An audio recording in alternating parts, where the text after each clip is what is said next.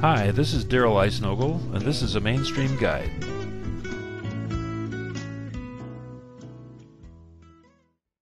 Hi, I've recently spent some time looking at applications for managing your digital photos.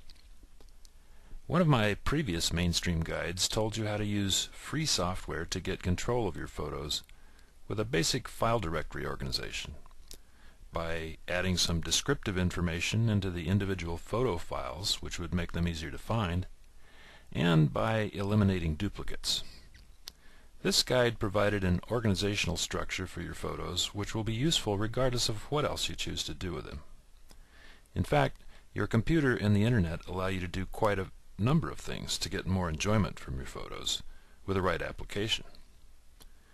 For example, you might want to get high-quality prints or create photo albums on the web to share your pictures with your friends and family.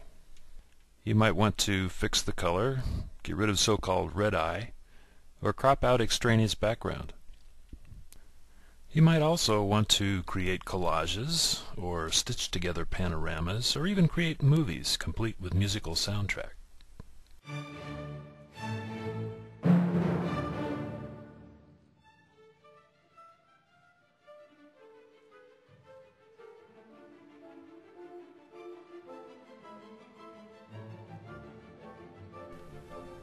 A number of applications have become available for doing these sorts of things, and the best news is that there are very good free programs that allow you to do most of these things. Perhaps the best known of these is a program called Picasa. More recently, Microsoft's Windows Live introduced a similar program called Windows Live Photo Gallery.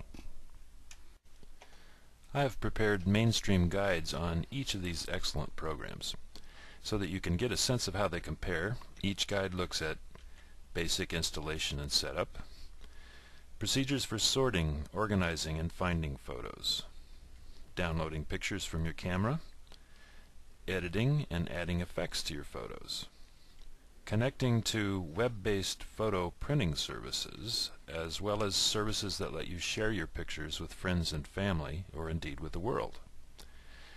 We'll look at creating slideshows or movies on a CD as another way of sharing your pictures. And finally, we'll talk about some of the specific bells and whistles that set the two programs apart.